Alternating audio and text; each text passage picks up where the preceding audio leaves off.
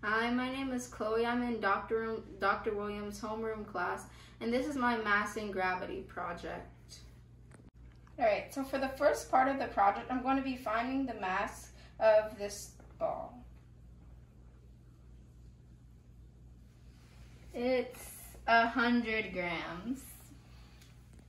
And the second ball that I have here is actually 500 grams. So since this one is 100 grams and this one is 500, this one has more mass, so it will be heavier. All right, so we, we made this ramp and now we're gonna see what effect the gravity has on its motion.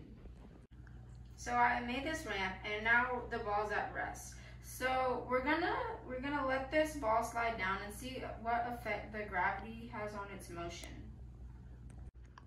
So we're gonna roll this ball down the ramp and the more water bottles it knocks down, that's the more gravity it has.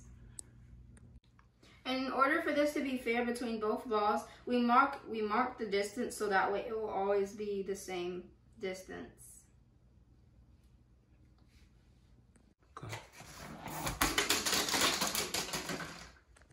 So the so the first time I let the ball go go down, it knocked down seven. The second time it knocked down ten, and the last time it knocked down eight, which is right there. So next we did this purple ball. The first time it knocked down three. The second time it knocked down three again. And the last time it only knocked down five, which is right there. So from the research, I learned that the more mass is more gravity. I also learned gravity can change the motion of an object. It goes from rest to in motion. It hits your face.